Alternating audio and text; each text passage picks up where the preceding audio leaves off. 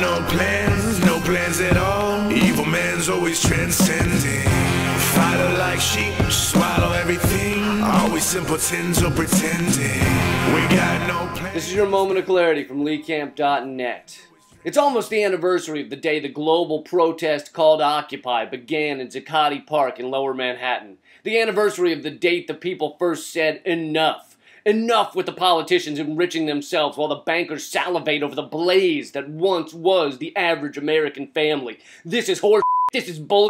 This is the of many different types of animals. Unless the plan to stop this is to get Wall Street drooling so heavily that their saliva accidentally puts out the flames they themselves lit, then no one anywhere is trying to turn this con game around. One year ago, on September 17th, Occupy changed the conversation in this country. Before Occupy, the conversation was how can we make the working man work a little harder? How can we cut the social safety net a little more, even though it already has more holes in it than Mitt Romney's tax returns? How can we continue to bail out the biggest banks? How can we decrease the tax burden on the people who already have so much money they hire a guy to rub scented oils on the ass crack of the guy they hired to rub scented oils on them? That's where we were before the most powerful protest movement in a generation turned it all around. But now the doubters of the corporate media tell us that Occupy lost the battle.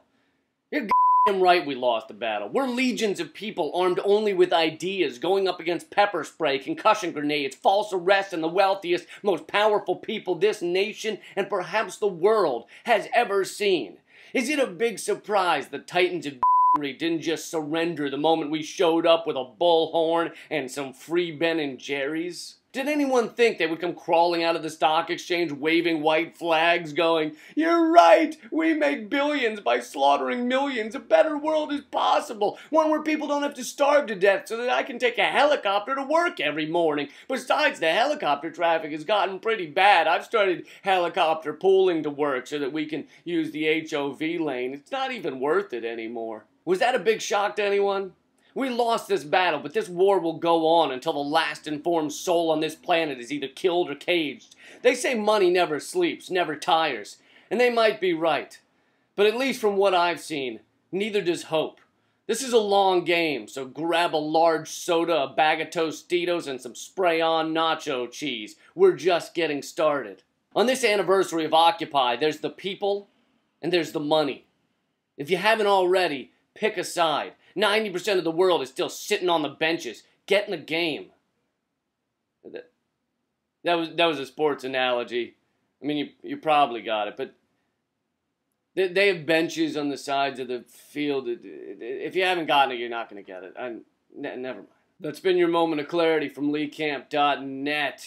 This Occupy anniversary, look up what's going on in your neighborhood, in your area, in your city, and get down there. Also, uh, on a separate note, if you'd like to play Moment of Clarity on your podcast, radio show, web series, whatever, uh, just email me at leecampmail, M-A-I-L, at gmail.com. Keep fighting. Plans, no plans at all. Evil man's always transcending. Fighter like sheep, swallow everything. Always simpletons or pretend.